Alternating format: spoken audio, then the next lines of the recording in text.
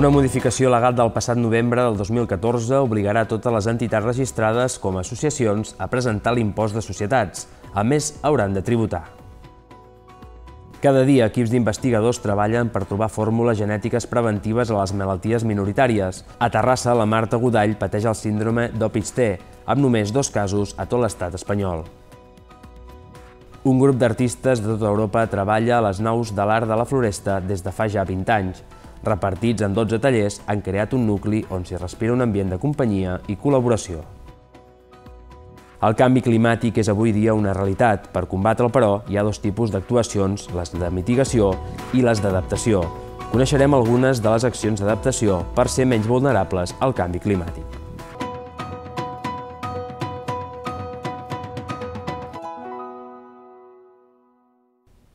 Benvinguts de nou a la Setmana del Vallès Occidental. Una modificació legal del passat novembre del 2014 obligarà totes les entitats registrades com a associacions i que comptin amb un NIF propi a presentar l'impost de societats. A més, les associacions que tinguin ingressos per les activitats que organitzen, com per exemple concerts, hauran de tributar un 25%, és a dir, aquells col·lectius que generin guanys, en els seus actes hauran de pagar a Hisenda Pública un 25% de la seva recaptació. Uns diners que fins ara les associacions destinaven íntegrament a l'organització d'altres esdeveniments socioculturals.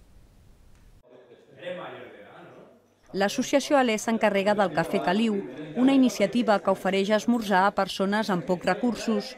La Junta està formada per tres membres i l'entitat compta amb 16 voluntaris no rep cap subvenció pública i es finança de donacions i del que es recapta amb les activitats que organitza el col·lectiu.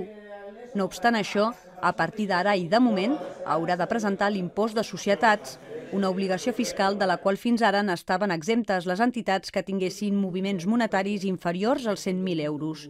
Si no es modifica la nova llei aprovada pel Congrés espanyol el passat novembre, la mesura afectarà les associacions de veïns, a entitats culturals d'interès social i a clubs esportius i també a les associacions de mares i pares d'alumnes.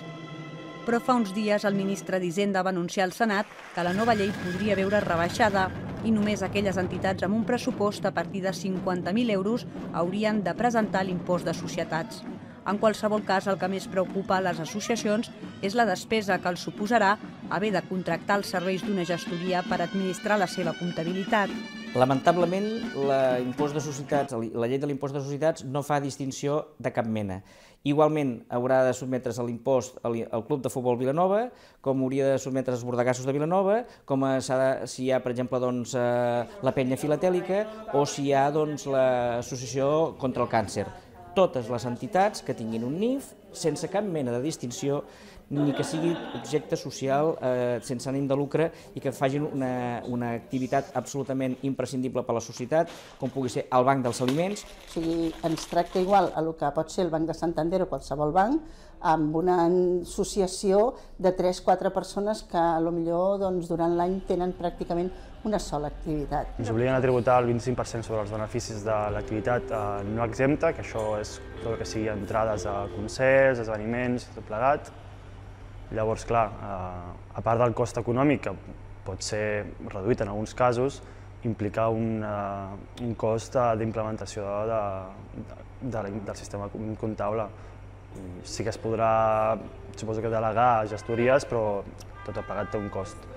Hem fet un càlcul que una entitat de, que ha de pagar 0,02 cèntims ha de pagar 100 euros al gestor perquè li presenti aquests dos cèntims a, a Hisenda. Llavors, per 8 cèntims l'any, una entitat ha de pagar 400 euros l'any. Només de gestor de l'impost de societat. Si li afegeixes que has de pagar també perquè et portin la comptabilitat, perquè evidentment la gent no sap portar comptabilitat oficial. Quan una persona paga 50 euros per anar a la comparsa, estem parlant de que paga uns diners i aquest primer punt, això estaria sotmès a l'impost sobre el valor afegit, hauria de pagar IVA hauria de portar un registre d'IVAs, haurien de portar una comptabilitat de quantes persones han anat a la comparsa pagant aquests 50 euros amb el seu corresponent IVA. Hauria de portar una comptabilitat de quines despeses hi han hagut, de les xarangues, amb la corresponent factura, a veure en quin IVA ha tingut suportat i fer la liquidació. Tant he cobrat d'IVA, tant he pagat, i aquí, per tant, és possible que inclús tingui unes pèrdues, però haig de portar una comptabilitat de a cada una de les persones que li he cobrat els 50 euros, quina comptabilitat tinc que portar i quina liquidació d'IVA tinc que fer. I a la meva entitat corresponent hauré de fer al final de l'any si és que després faig un sopar per Nadal o després faig una, un, un, el, el, el sopar del Carnestoltes. Quan muntes una barra de bar, eh? què fem? Quan ens cobren l'IVA, li, quan algú li venem una cervesa de barra, li hem de cobrar amb IVA. Llavors, li hem de donar un tiquet per justificar els ingressos? Com fem un tiquet? A festa major, la barra, com fem un tiquet? La, els pocs diners que tenim les entitats, que pràcticament ja ens costa fer coses, i que la, la meitat de les vegades el fet d'estar en una entitat et costa més pagar que no, que vull dir, els, la, la gent doncs acabem donant posant diners de la, i temps de, la, de nosaltres com perquè a sobre haguessin de posar diners per pagar amb un gestor perquè ens porti la comptabilitat. És que això és, no és absurd, és que no té ni nom. A nivell personal penso que el nostre país té, un teixit associatiu molt important, que treballa molt per, per, la, per la seva gent, i això pot dificultar molt la creació d'associacions per, o desenvolupar millor la seva tasca.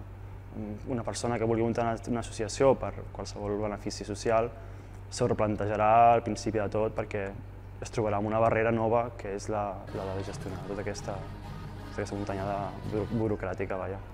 No n'hi ha prou amb tot això, sinó que a sobre et diuen que és per resoldre tot el tema de la llei de transparència. De moment, quina barra que ells ens demanin transparència, que comencin per la seva. O sigui, és ridícul. És que és una vergonya, home una vergonya que, que es tingui que fer. Hi ha eh, entitats que es dediquen, per exemple, a, a temes de, de gent que tenen minusvalua, eh, de, de, els pares que tenen fills que tenen deficiències eh, mentals, estem en, en plena campanya, eh, tota aquesta gent haurà de fer l'impost de societats, perdona'm, perdona'm, els hauràs de fer gastar 4 o 500 euros l'any en comptabilitat, tota aquesta gent, home, vols dir que no t'estàs passant, multiplico per 426 entitats que hi ha a Vilanova, quantes entitats hi ha a la comarca? És clar, qui, qui es vol presentar per president d'una entitat que si resulta que no pot pagar aquella entitat li faran responsable segons la llei, és el president el responsable. Hi ha entitats que no saben encara que ho han de fer. O sigui, de veritat que parlàvem amb gent que no sabia encara que això els hi tocava fer-ho. Clar, d'aquí un mes i mig ja han, ja han passat un trimestre i hauran de presentar coses. bueno, l'impost de societat es presenta a final d'any, però és que el primer trimestre ja has de començar, si tens liquidació d'IVA, si has de fer IRPF, coses d'aquestes que encara, perdó, encara que sigui cost zero, has de, has de fer la liquidació. I això la gent no en sap. Haurem de recórrer tots a que això a, a que t'ho portin externament, no tot. Ni, ten, ni tens el temps ni tens la, la, els coneixements per portar una comptabilitat oficial. Ni tan sols el que ha fet la norma ha vist quin impacte de retorn li tindrà i quin impacte de recursos eh, importants per no recaptar res. És que eh, eh, eh, això és el que jo acabo veient. Eh, perquè si diguessis, bueno, és que darrere de tot això hi ha un frau important i tindrem una recaptació de 100 milions d'euros. No, no, aquestes entitats estan belluant 4 duros i la veritat que no, no, no, no hi ha darrere una recaptació important. Per tant, jo veig que mourem papers, mourem papers i mourem papers i la hisenda pública seguirà tenint els mateixos diners que abans i si destina recursos doncs no els destinaran a perseguir el frau fiscal real.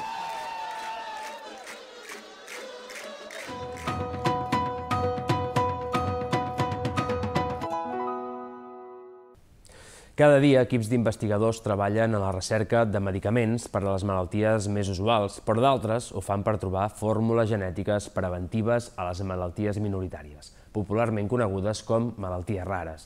Des de que va néixer a Terrassa, la Marta Codall pateix el síndrome d'Opitz-T, amb només dos casos a tot l'estat espanyol. Després de 18 anys de lluita contra la malaltia, els pares de la Marta reclamen més suport als investigadors i també als familiars quan pateixen l'esgotament del cuidador. Marta Godall és una noia de 18 anys que viu a Terrassa amb la seva família i que va néixer amb una malaltia classificada com a rara o minoritària anomenada com la síndrome d'Opitz-C una malaltia de conseqüències greus que ha portat a la seva família a recórrer totes les possibilitats a la recerca de solucions. Un equip d'investigadors de la Universitat de Barcelona que pertanyen al CIBER, el Centre d'Investigació Biomèdica en xarxa de malalties rares de l'Institut Carles III del Ministeri de Sanitat, avancen la investigació genètica per trobar primer una solució preventiva a la síndrome i després una medicació. Aquesta malaltia es caracteritza sobretot perquè tenen la, al moment de néixer la sutura metòpica, és a dir, la, la que fusiona aquests dos trossos de, de l'os, doncs estava ja tancada al néixer. Clar, normalment les fontaneles i totes les sutures es van tancant a partir dels dos anys per permetre que el cervell creixi. Aquesta està tancada, per, amb la qual d'alguna manera impedeix que el cervell creixi i també fa que la forma del crani sigui una mica peculiar, té una mica de forma tri triangular. No? Eh, és una síndrome eh, que consisteix en una, un naixement d'uns nens amb malformació congènita, sobretot prominent la ratlla d'aquí al mig del cap que els hi dona una forma una mica de cap en triangle, que per això se diu que tenen trigonocefàlia. Cuando hablamos de una enfermedad rara, pero además no rara, sino muy rara, con unos 60 casos en el mundo, más o menos como mucho, dos casos en España, o sea, realmente es tan mínimo que es muy difícil sacar un factor común. Entonces, claro, toda la información que se va teniendo con, con Marta y con los otros casos aporta a tener un panorama de cómo es la enfermedad. Vas assumint això, que la teva filla, per molt que pugui anar progressant, tindrà unes limitacions molt altes, perquè bueno, la, la malaltia és greu i, i la seva capacitat neurològica doncs, és molt, és molt complicada i molt limitada. És una època que, bueno, que no pares d'anar a metges, a ella la van operar del crani als dos anys pel tema aquest de la de sutura, per reconstruir-li, i visites a moltíssims especialistes, eh, en diferents hospitals, és bastant, és bastant complicat el, inclús el dia a dia, no? organitzar-te treballant i també està molt, molt excitable, està sempre molt nerviosa, no? Llavors, bueno, tot això et fa que és com una carrera de fons que, clar, quan ja portes 18 anys, que les coses comencin a anar pitjor en lloc de millor, doncs, bueno, inclús anímicament costa de, costa de tirar endavant. Ja, ja, ja. Cap individu és igual, no? Nosaltres som tots diferents una mica entre nosaltres i a vegades els nens que comparteixen una mutació en un mateix gen poden tenir una presentació una mica diferent Eh, nosotros pensamos que lo más probable es que sea una enfermedad causada por una mutación de novo que apareció en, digamos, el, el óvulo, el espermatozoide que dieron origen a, a Marta. Eh, nosotros estamos acostumbrados a trabajar en otras enfermedades raras, en las cuales son raras, son poco frecuentes, pero son más frecuentes. Aquí nos encontramos en una situación en la cual solo tenemos el caso índice y nada más. O sea, aparece de repente un caso i con ese caso hay que trabajar.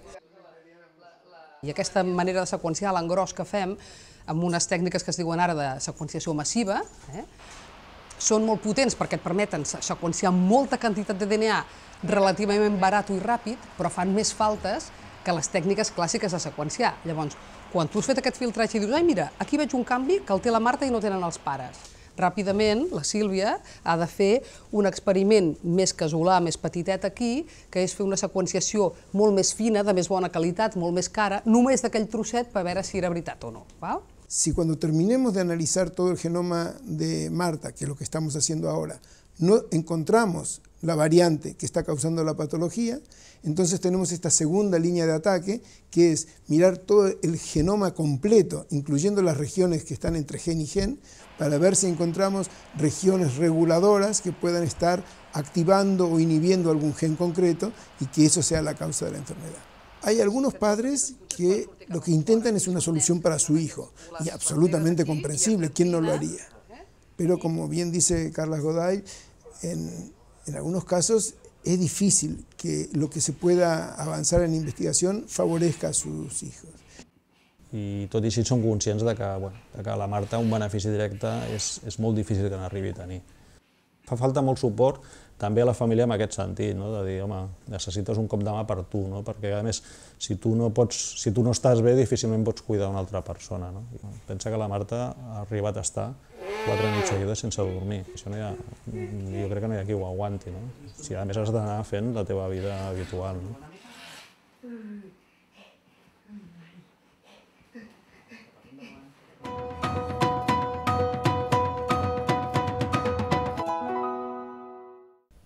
I un grup d'artistes de tota Europa treballa a les naus de l'art de la floresta des de fa ja 20 anys.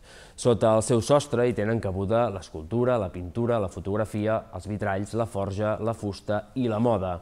Repartits en 12 tallers, han creat un nucli on s'hi respira un ambient de companyia i col·laboració. Des de fa més de 20 anys, un grup d'artistes de tota Europa treballa a les naus de l'art de la Floresta. Repartits en 12 tallers, els seus residents han insuflat aire nou en aquest antic complex industrial situat en plena serra de Collserola.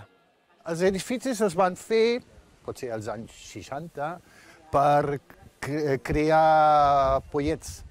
I després eh, eh, havia una, una fundició de goma o de plàstic per, aquí es van fer el, el Naranjito, saps aquest, aquesta mascota del Mundial, eh? entre altres coses, i vale, mm, mm, i a poc a poc, a partir del 93, podries dir que ja van, es van situar artistes aquí. La tranquil·litat i l'entorn natural són els principals atractius d'unes naus que els artistes defineixen com un espai privilegiat i inspirador.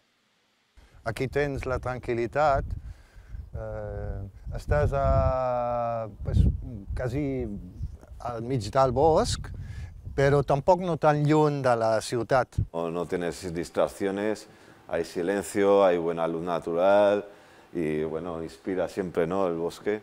Rodeado de todo esto, pues la verdad es que es una maravilla. Aquest espai és molt tranquil per concentrar-te i crear. Està envoltat de natura, això és maco també, i et sents una mica com resguardat de potser altres problemes aliens a allò de lo que es tracta de lo que vols fer. No? Yo creo que estamos desarrollándonos bastante, cada uno en lo que hace y cada, cada vez tenemos más nivel. Yo creo que sí.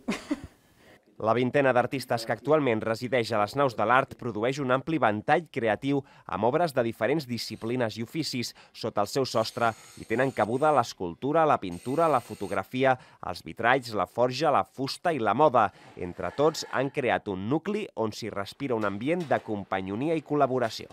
Decimos que es un nave, es un nave, y nosotros somos tripulantes. Doncs cada un tiene su parte. El dia a dia és, és, molt càlid, és, la relació entre nosaltres, això és com un petit poble, no? dels d'abans, que tots ens coneixem. Todo el mundo más o menos vivimos la misma situación y nos vamos ayudando y nos entendemos.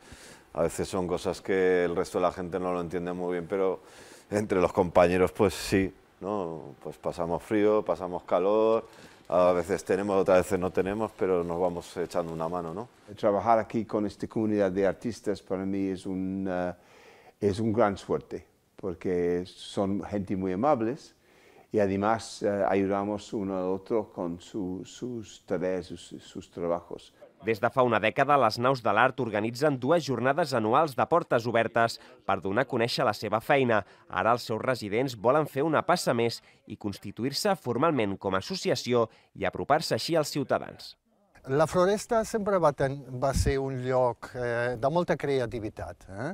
però com és un lloc eh, que és, eh, els tallers estan molt dispersats ja, per, per tot el bosc i eh, i fins, fins ara, o fins fa poc, no es va crear un nucli i ara estem en el punt de crear una associació dels, dels artistes de les naus de l'art, eh?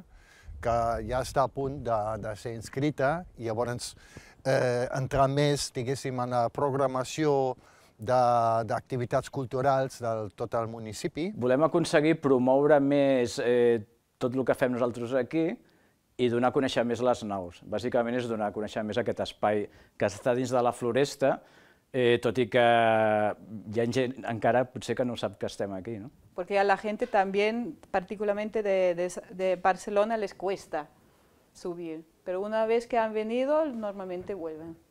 D'ara endavant, els artistes de les naus esperen convertir-se en un referent artístic del territori i treure a la llum el potencial creatiu multidisciplinar que alberguen en el seu refugi de pau.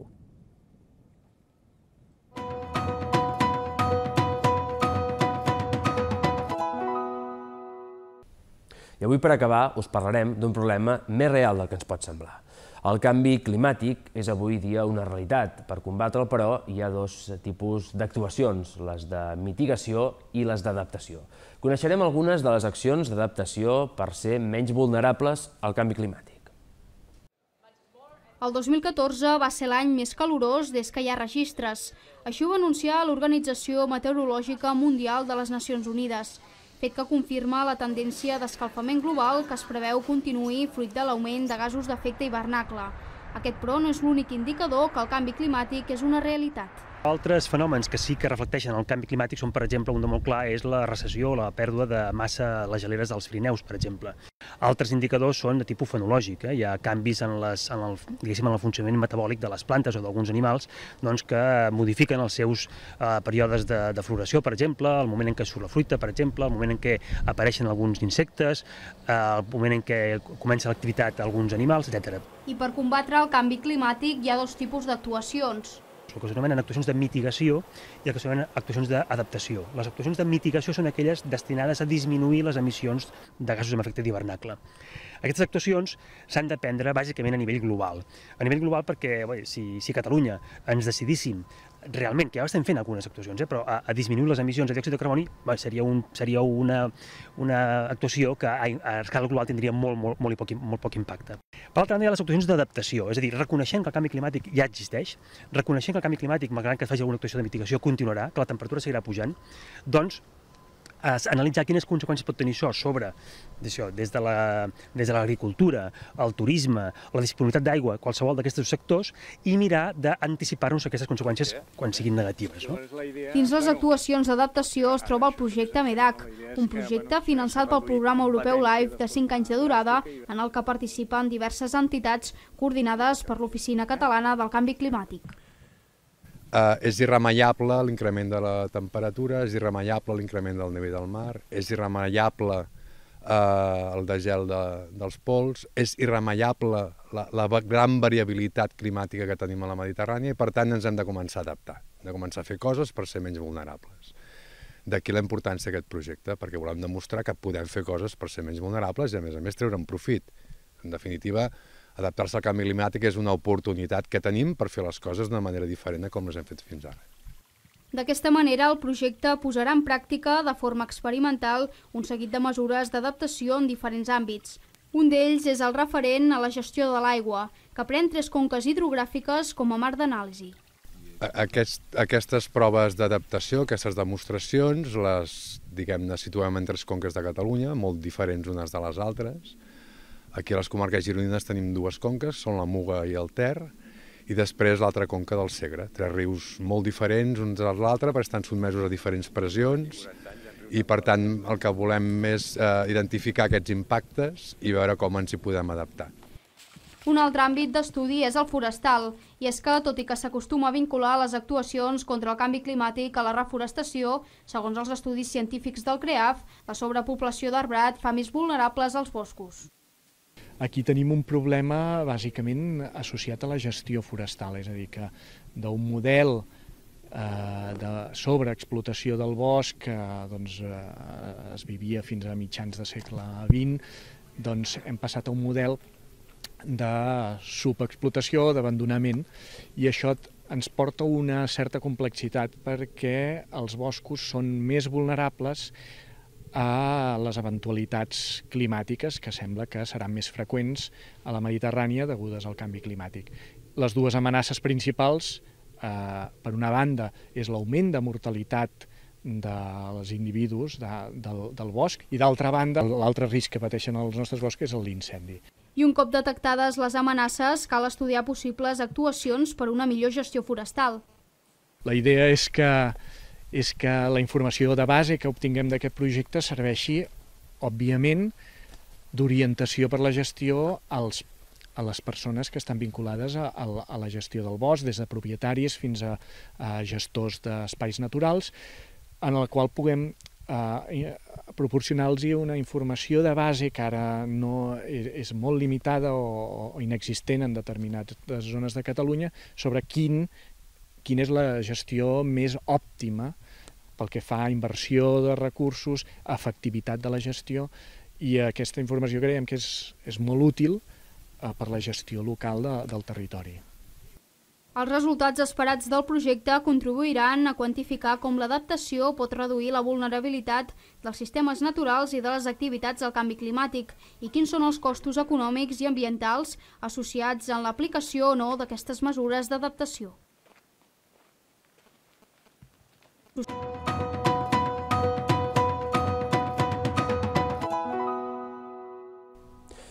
amb això acabem. Nosaltres ho deixem aquí. Tornem la propera setmana amb més reportatges. Que vagi bé.